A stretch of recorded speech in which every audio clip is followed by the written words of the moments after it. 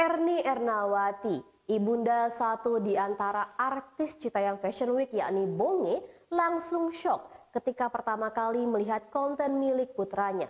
Ia terkejut karena kontennya berisi soal cinta-cintaan.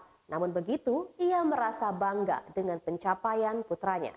Erni Ernawati, ibunda Bonge, artis Citayam Fashion Week, ternyata baru pertama kali melihat konten video milik sang putra.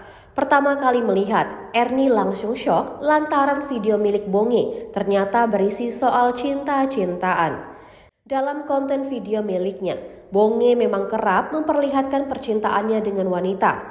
Erna jujur merasa takut melihat hal itu. Ia tak ingin anaknya salah pergaulan. Ibunda khawatir jika kisah percintaan Bonge itu berujung dengan pernikahan, lantaran umur sang anak disebut masih sangat muda yakni 16 tahun.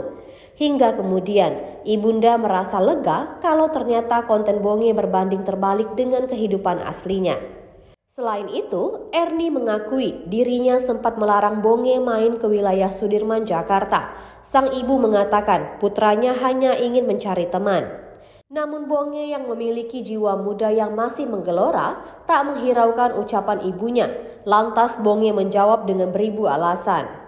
Lebih lanjut, Erni mengatakan sempat melarang anaknya untuk berpakaian seperti itu. Pasalnya gaya berpakaian Bonge sebelumnya tidak seperti itu. Namun lagi-lagi dengan jiwa muda yang masih dimiliki anaknya, Bonge menjawab jika gaya berpakaiannya adalah gaya trendy. Dan saat ini Erni merasa bangga dengan pencapaian anaknya yang sudah sangat membantu perekonomian keluarga.